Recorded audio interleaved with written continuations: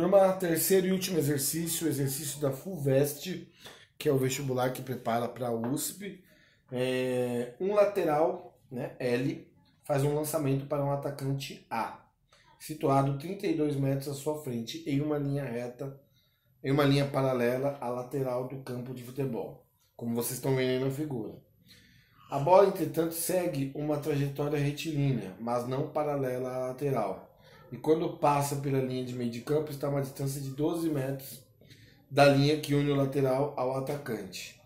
Sabendo-se que a linha de meio de campo está à mesma distância dos dois jogadores, a distância mínima que o atacante terá que correr para encontrar a trajetória da bola será de. O cara é grosso mesmo, né? Porque o cara está em linha reta.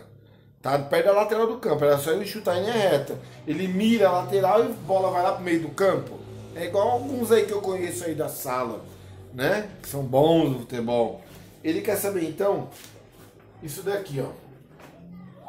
É mais ou menos é, isso daqui, ó. O cara era para chutar assim, ele chutou para cá. Então, é, nós chamamos aí lateral, atacante, ponto P. Então eu fiz mais ou menos aí dois triângulos, certo? Lembrando que ali tem uma linha do, do centro, né? Que está pegando bem, dividindo ele em dois triângulos também. Então, lembrando que o grande círculo, né? É, então, olha só, os triângulos. Eu tenho um triângulo retângulo aqui, que eu chamei então, ó, triângulo LMH, que é retângulo, e o triângulo L, porque é o mesmo para os dois. O L, é, eu, se eu peguei, vamos lá, o L, peguei o L também. Se eu peguei o M que tem o reto, eu tenho que pegar o P que tem o reto, ó. O ângulo reto. O que você faz num triângulo, você tem que fazer no outro. Começou por L, os dois, o L é comum aos dois, os dois começam por L, ó. L e L. Do L eu fui pro M por causa do ângulo reto, então no maior eu também tenho que ir pro ângulo reto. Do L eu vou pro P. E aí eu termino indo pro H e termino indo pro A, tá aqui, ó. Então tá, a gente faz as relações, primeiro e segundo, primeiro e segundo, segundo e terceiro, segundo e terceiro, primeiro e último, primeiro e último, tá aqui. O que eu quero descobrir é o PA, né? Certo? Então, nós vamos ter que pegar o, o, a, a fração que tem o PA. Que tem o PA é essa. Então, vamos colocar aqui, ó, x. Quem é o MH? 12. Eu tenho que escolher agora uma dessas duas que eu tenho as duas informações. Então, por exemplo, se eu pegar é, essa aqui, ó, o LA, eu conheço o LA?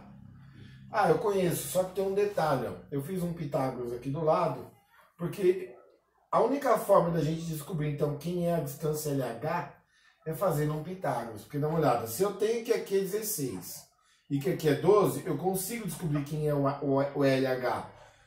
Aí eu fiz aqui, ó, LH ao quadrado é igual a 12 ao quadrado mais 16 ao quadrado. Até aí beleza, eu vou fazer Pitágoras, manda bala.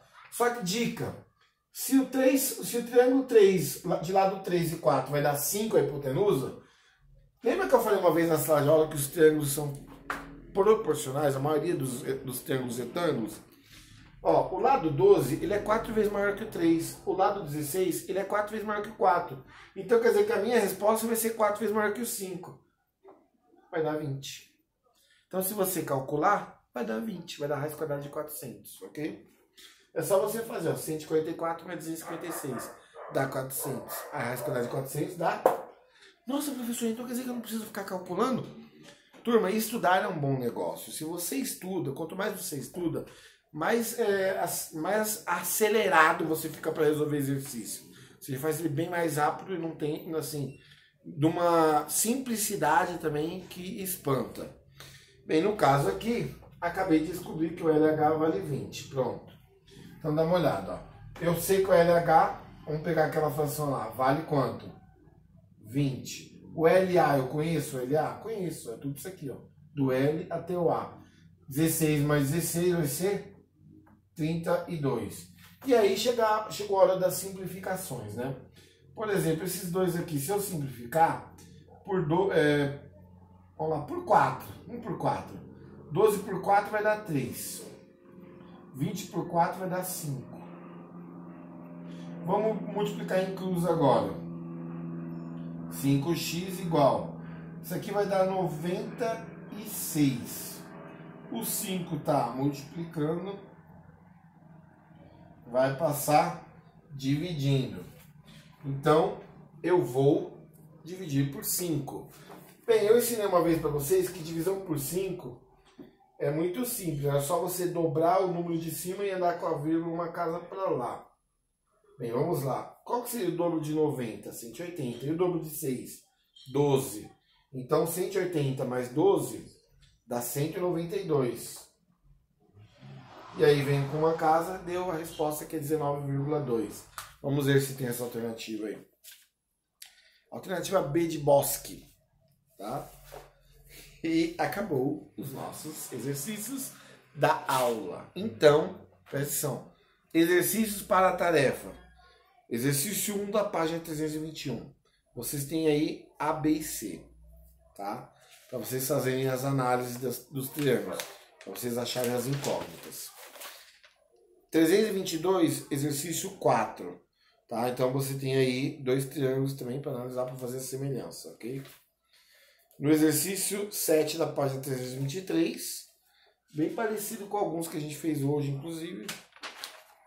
E para finalizar, o exercício 9 da página 324. Não, finalizar não, ainda tem o 11. Nós temos o 11 da página 325. Agora sim, finalizou, tá?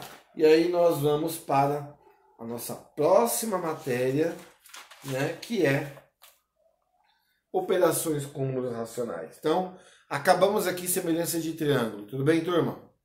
Fique com Deus aí.